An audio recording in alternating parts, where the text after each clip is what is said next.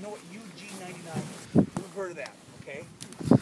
Okay, they have found a gene, maybe others too, but they have found a gene in that resists If UG99 at this point in time ever jumped, that's Uruguay, they found it in 1999, it's stem rust. Stem rust is what plagues us immensely. If that if that race of rust ever got here, all the spring wheat in the northern plains as we know it would be wiped out, just like in the 30s and 40s when you read about the red clouds of dust and stuff like that. And by the way, we know stem rust has been the worst disease ever to plague wheat on the face of the planet. Biblical everything when they talk about it, it's, it's stem rust.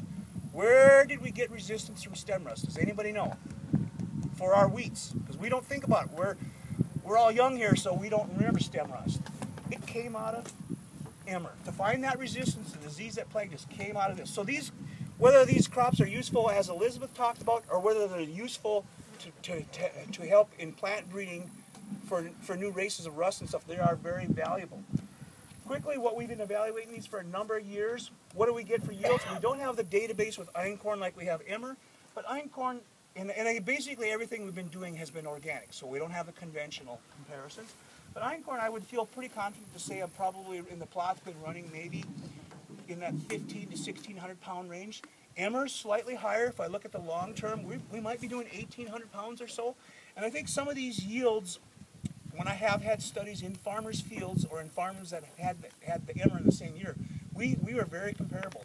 I know the one year when I had emmer in, in Lewis's farm, his field went about 2,000 pounds. The plots went about 2,000 pounds. Matt Loken, another farmer that was growing that same that same thing happened. And I think Blaine's yields are pretty much similar. So we're seeing the same.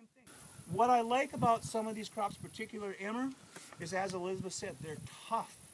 Weed competition, everything. You know, they. Um, not to make uh, you know poor analogies, but they seem more adapted to in an environment that isn't spoon-fed a lot of nitrogen and, and, and, stuff like that. So in other words, they seem very adapted to the organic environment. So these are what you know. Everybody calls them everything these days, and I don't know what to do with. So I'm sticking with ancient grains. I'm sticking with when I, when we say ancient grains, it's emmer, einkorn, spelt because they're the oldest. When we talk heritage wheats, I'm going to go with um, wheats that are you know, varieties that are slightly older. The most common definition some people like to stick with is pre-1950 varieties. What happened in 1950? We drastically changed our agricultural program and our breeding programs. We were breeding varieties in the environment of intended use, meaning high nitrogen fertilizers, using herbicides, you know, so uh, the classification then, so some people maybe anecdotal and stuff, they have a belief that some of these older varieties may be more adapted to these organic environments because that's they were bred in that intention, and they may have a better nutritional quality. That's up for dispute at this point in time, but we also know there's sure a lot of press and controversy right now on wheat. Whatever that is, I don't know. I'm an agronomist or I'm a farmer agronomist, whatever. But I think there's a lot of nutritional things to be asked uh, on that. Um, and I think that may be leading to some of the popularity. We do have one emmer, uh, or one in the emmer trial. We have we did put kamut. Has anybody ever heard of kamut? It's slightly different than emmer. That's Bob Quinn out there in Montana. We actually need to model him.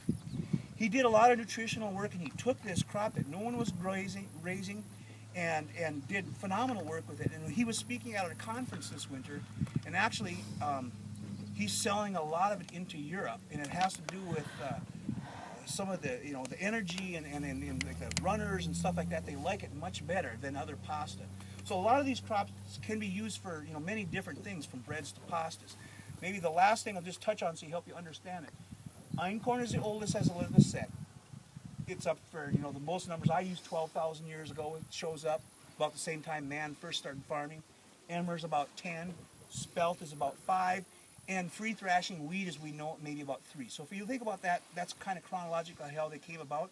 Also genetically, um, this is very simple set of chromosomes. It's a diploid.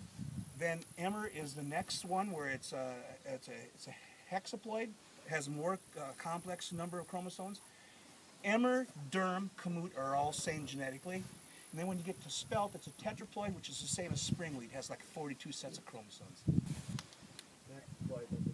Thanks. That's why you got to have plant breeders. Thank you. I knew I'd get it wrong. I knew I'd do it wrong. Anyway, but that's just kind of, you know, for a layman's genetics. There we go. Thank you, Frank. Um, but with that, you know, I just want to close, and, and we'll just leave it at that. But it does seem like the interest is picking up. I'm glad to see some of the farmers here. They didn't sell seed when you're promoting it, it was a little goosey when they were filling up their bins coming to their farms. You know, they weren't real happy. So I'm glad to see they're starting to sell their emmer and they're talking to me again. And with that, that's just a joke. But with that, let's take any questions and we'll just move on down the line. Yes.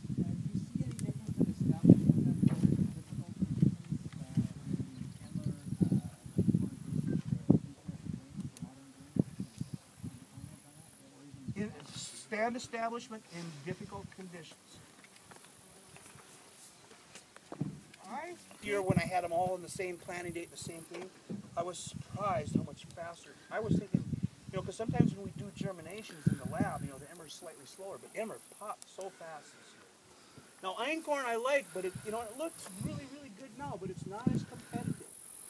And you can see differences, and this is why in organics, just to use the point, why competitiveness is so important. When you look at a variety that's a little more competitive and, and heads out faster as early, you can see difference in weeds, you know. And everything that, again, I think probably most farmers do, although not all do, because I, um, you know, some will dehull it. We do not, I don't dehull anything, I don't believe you dehull anything.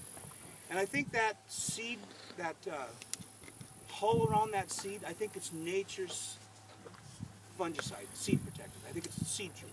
I think it protects that seed. I, I totally believe it protects it in storage. I think because we can hear that some of this can store quite long, and sometimes if they dehull it, it does not store as long. So I, I, that's nature's protection mechanism. You know, I mean, I store seed some some long periods of time as a seed saver and stuff like that also, and probably don't have the best storage facilities. But you know what? You never get any insects in your emmer. I don't know why, but you'll get it in your wheat, but you never seem to see insect damage, you know, the stored grain insects in your emmer. And why? I do not know. What do you got, whiteheads here? Is that sawfly or something? Uh, that's probably a good observation. What you do is probably wheat stem maggot. If you pull it, it's a wheat stem maggot. Pulls out. So there's a little maggot down there. You always see those heads in spring wheat. Never very much, but that's generally what it is. If you ever see that, you pull it out, it's a little maggot down there chewed off. Okay, any other further questions? What do you do for tillage spring and fall? Okay, this was, I really kind of messed up maybe last year. This was my cover crop and it kind of got away on me. It was Sudan grass that got eight feet tall. So I had a mess with with the little, I had a six foot John Deere disc, you know, that's not really kind of wishy disc there, you boys and girls. Um, so I had to get a lot of residue to get rid of. And I thought I was going to have a disaster. That's why this was a little later, but I was amazed. Disc it in the spring again, went through with the international cultivator. So I use I use an international Vibra-Shank cultivator as my heaviest tillage. Because most of the equipment I, I keep it to scale. It's all small six foot equipment, so I don't have heavy stuff. So I do use a wish uh, a John Deere um, offset disc to, to you know to incorporate my residues, my straw and stuff like that, and a an international cultivator and a Danish S tine cultivator right prior to planting. So I'll finish it off with a light tillage right before I plant. I'm trying to do minimum tillage. Still more than I like, but it's a necessary evil. So how many times did you disc it? Last fall I had to disc it a couple times and then once this spring.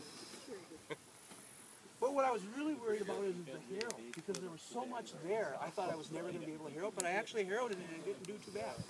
The residue broke down pretty good. Yeah, it broke it down. That's one thing you learn when you when you want to run this Einböck harrow. You want all this residue, but you know after you seed, guess what that harrow does when you start running it through the blade? No, it's, he's a farmer. Well, I had to learn that one on my own.